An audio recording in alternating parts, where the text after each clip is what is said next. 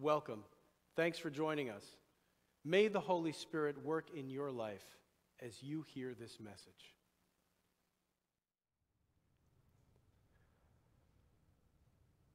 I remember what an absolutely beautiful day it was. The sky was, was this beautiful blue.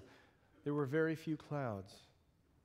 When I got into my office, I took one last look out the window and then went to my desk.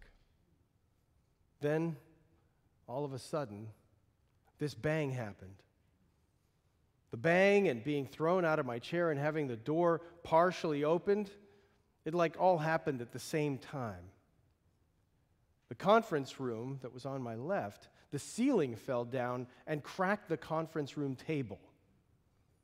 I'm getting up and said, How the heck did they get a bomb this, this high? Because what else could it be? Then I said, I think I'd better get my things together. And then the people from MetLife came across, and some of them had blackened faces. They said, A plane hit the building. We watched it, we saw it hit the building, and our office exploded. Shortly after that, Pablo came to our door. All I remember is that yellow helmet, flashlight, and him standing at the front door saying, We have to go now. We made a turn and went directly down the hallway.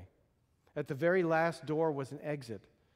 Pablo and Mr. DeMartini had broken through that door because when the plane hit the building, it had buckled all the frameworks from the doors so nobody could open them. I'm so grateful that somebody came to that floor because even if we had gone to that exit, we wouldn't have been able to get out. One of the scariest things was I don't remember what floor we were on, but water started coming down the stairs, and it was like a waterfall. And there were people huddled together because it was dark.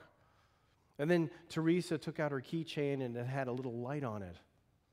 And I said, Oh, wow, I, I have a flashlight in my pocketbook. I found it and held it up, and people in the back said, Thank you.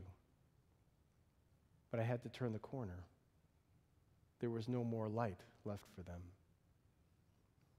The worst time was when the other building went down. This tremendous roar, and the stairways shook, and we were holding on to the banister, and the building is shaking, and no one said a word. I started to cry when we were almost out of the building. We're almost downstairs to the main floor. Teresa and Raphael went down and disappeared. And people in the back of me went up and disappeared. I'm standing in this little place, and I'm by myself. And I didn't know if I should run downstairs or upstairs.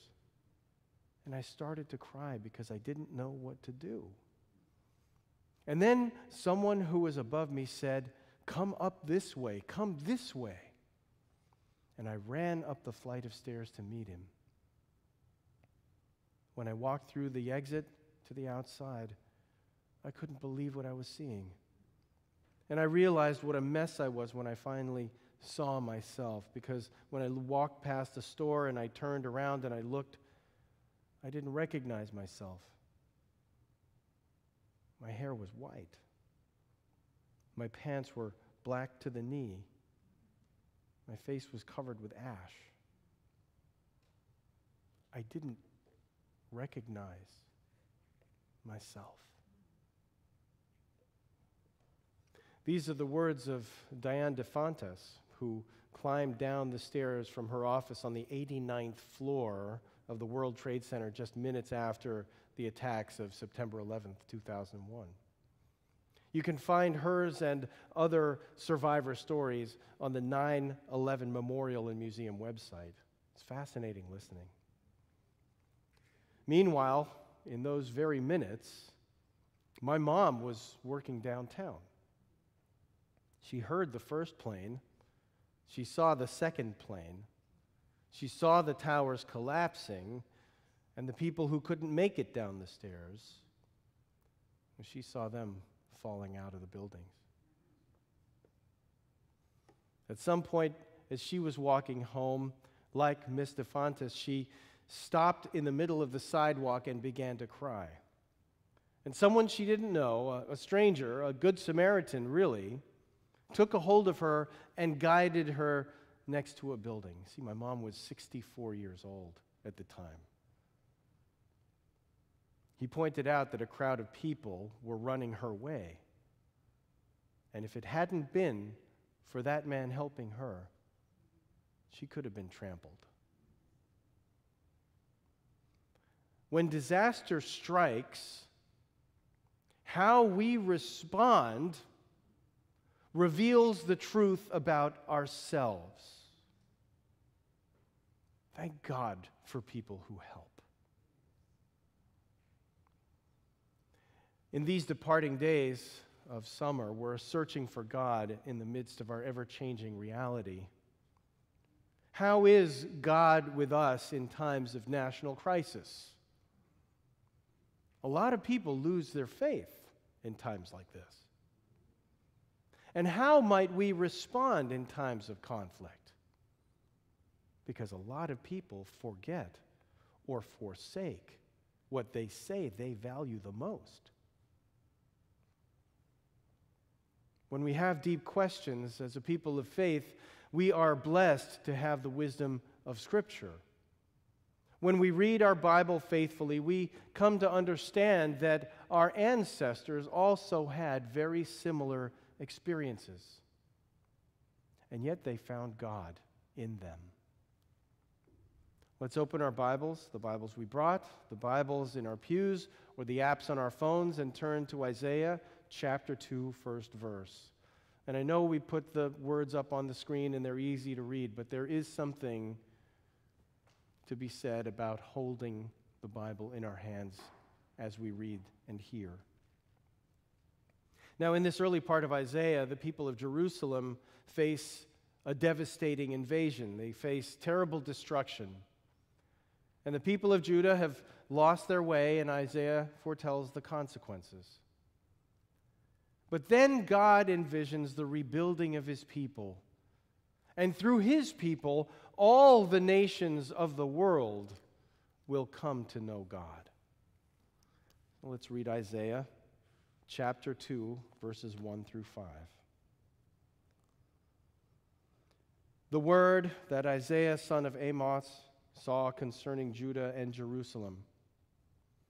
In days to come, the mountain of the Lord's house shall be established as the highest of the mountains, and shall be raised above the hills. All the nations shall stream to it. Many peoples shall come and say, Come, let us go up to the mountain of the Lord, to the house of the God of Jacob, that he may teach us his ways, and that we may walk in his paths. For out of Zion shall go forth instruction and the word of the Lord from Jerusalem.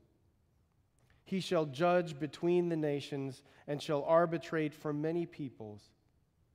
They shall beat their swords into plowshares and their spears into pruning hooks. Nation shall not lift up sword against nation, neither shall they learn war any more. O house of Jacob, come, let us walk in the light of the Lord.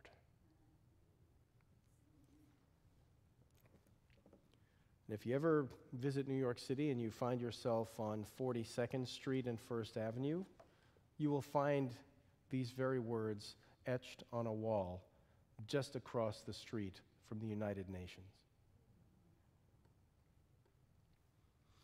Let us walk in the light of the Lord. This verse reminds me of when Diane DeFontes was walking down that darkened staircase. Can you just imagine having to walk down 89 flights of stairs in the dark with water pouring down your feet? And she and her friend, as they found other people in, living, existing in this darkness, in this desperate time, well, they took out their flashlights, lighting their way for others.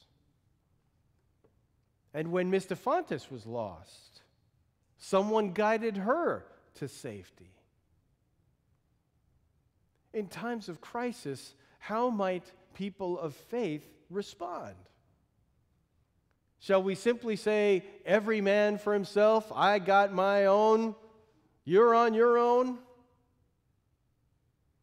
Or shall we shine a light? And when we find ourselves in times of conflict, how might we respond? With vengeful violence that only begets more violence? Or might we walk in the way that God offers through Isaiah's voice? For out of Zion shall go forth instruction, and the word of the Lord from Jerusalem. He shall judge between the nations and shall arbitrate for many peoples. Nations shall not lift up a sword against nation, and neither shall they learn war anymore. Instruction. The Hebrew word here is Torah, which we also translate as law. The word of the Lord shall come from Jerusalem. He shall judge and arbitrate between peoples. If we were to ask the God of our scriptures how we might respond when our relationships go bad, well, here's how God might respond. Let's return to our basic teaching to love one another, to love the foreigners and aliens among us, and to love and care even for our enemies. Our mission as a people of faith is to let the world know that God loves them. And how else will they know that God loves them unless we do the same? The people of God live in this world, but we are not of it. Remember that line from the Apostle Paul in his epistle to the Romans? If your enemies are hungry, feed them. If they are thirsty, give them something to drink, for by doing this you will heap burning coals on their heads. That's Romans 12:20. Well, as we were reading Proverbs over the summer, I realized that Paul is simply paraphrasing Proverbs chapter 25, verses 21 and 22. If your enemies are hungry, give them bread to eat. And if they are thirsty, give them water to drink, for you will heap coals of fire on their heads, and the Lord will reward you. You see, the concern for the well being of our enemies does not simply begin in the New Testament, it actually flows throughout the Bible. And when conflict happens, when adversity appears, we as a people of faith would do well to return to our scriptures, to live in the way that we say we value the most, and do everything that we can to walk in the light of our Lord.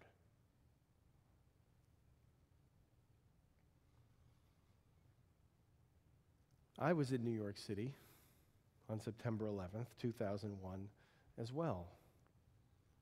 I was taking a day off from work and I was sleeping in way uptown. And um, I remember during that week, it was one of the most beautiful weeks weather wise ever. I remember going jogging down by the Hudson River and looking all the way downtown, and for days, this plume of ash and smoke was rising into the sky. And I remember the dirty looks I got riding on the subway and jogging down the street. And I just remember how angry I felt that guys who look like me would do something like this. Because I got to say, they ruin it for all of us. So, like many other Americans, I was angry. And frankly, I wanted to blow up the other side of the planet. Thank God I was not in charge of anything. but see, back then I didn't have a scriptural foundation. I hadn't heard very many sermons about love thy neighbor. And I knew nothing about John Wesley, whose approach to Christian living involved seeing other human beings as God's children and reaching out to as many people from as many backgrounds as possible.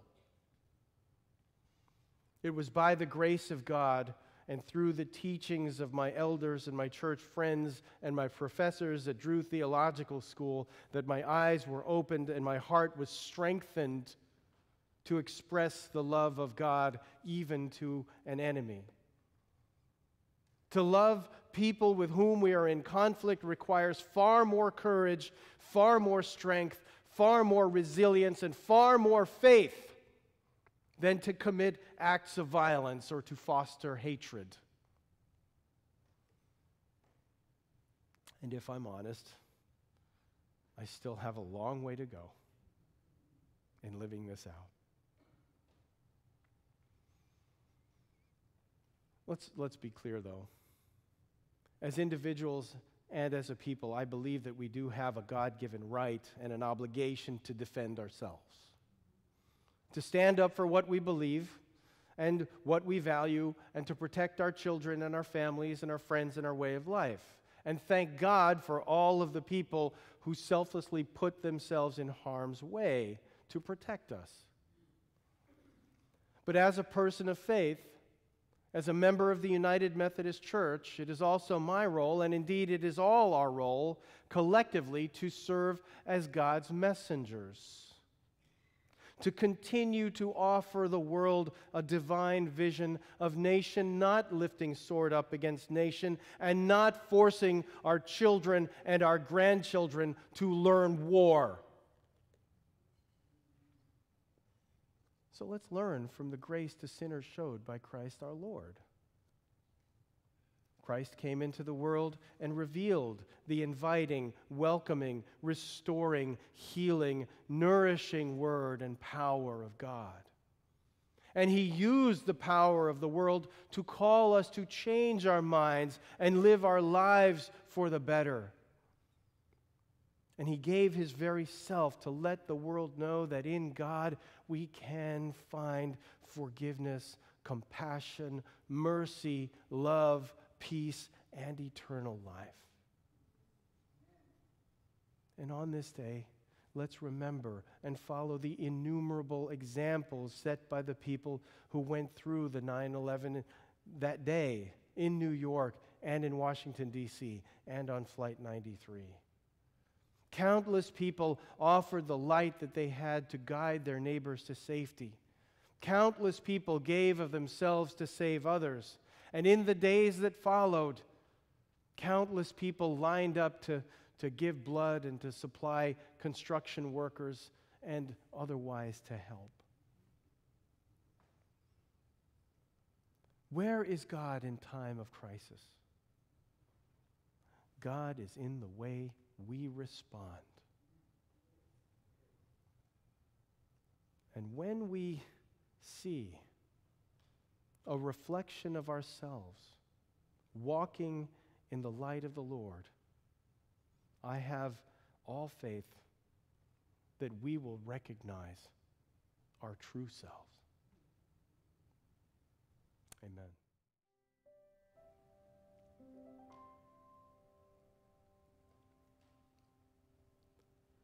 Let us pray. Loving and eternal Gracious God, thank you for shining the light of your love into our hearts. Thank you, O God, for your grace and your mercy.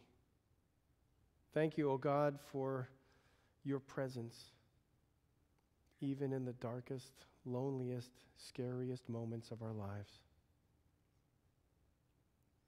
God, when it feels like the world is crashing down all around us, we pray that your Holy Spirit will remind us that you are ever with us, that you love us with an everlasting, steadfast love, and that you love us even until the end of our days and beyond.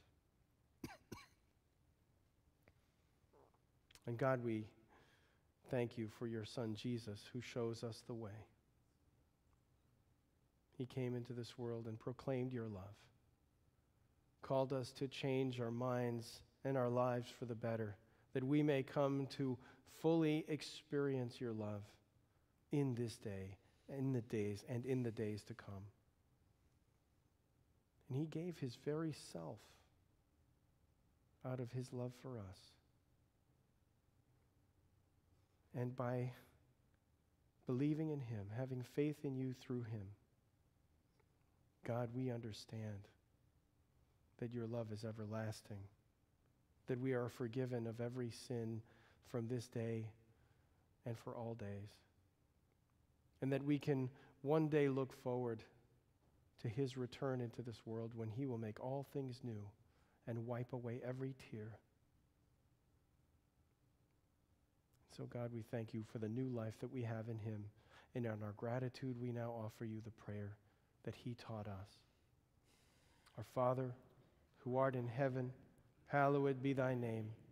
Thy kingdom come, thy will be done on earth as it is in heaven.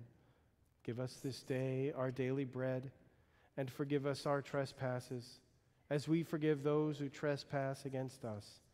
And lead us not into temptation, but deliver us from evil.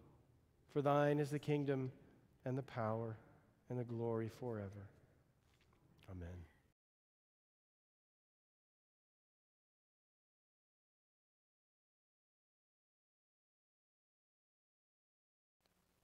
Thanks for joining us. Please remember to like, subscribe, and share our video. Let's send God's love all over the world.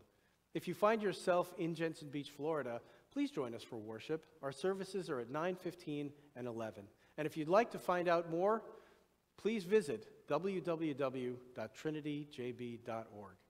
See you next time. Blessings.